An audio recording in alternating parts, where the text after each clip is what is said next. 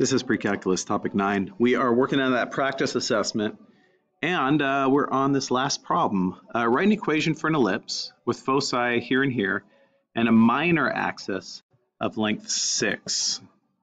All right, well let's let's think about this. Negative 16, 7, negative 8, 7. Those have the same height. So I'm just gonna just sketch a little bit. And those are the those are the foci move that up just a little bit. No, move it down a little bit. Nah, it sounds good.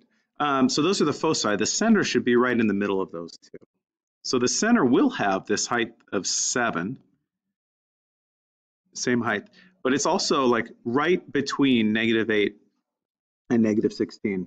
You can figure that out a lot of ways. You could probably just do it with number sense. Um, you can just average them. Like if you go negative 16 plus negative 8 and divide by 2, that's going to give you that value. Um, so this, any way that you do it, this must be a negative 12.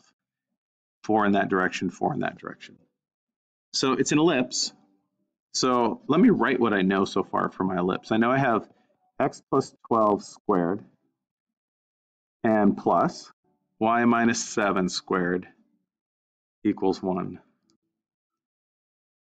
So the minor axis, that's the shorter direction. So the foci are going to be along the, the major axis. So there's some points out here.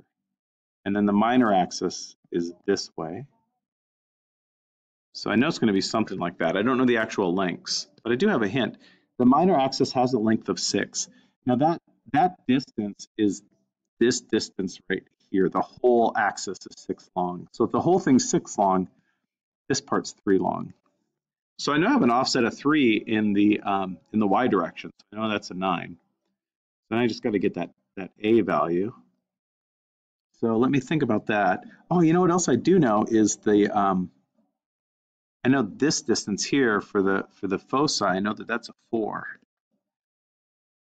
So I know that um, c squared is a squared minus b squared, right? If it's if it's addition for an ellipse, the, the foci is shorter than the combination.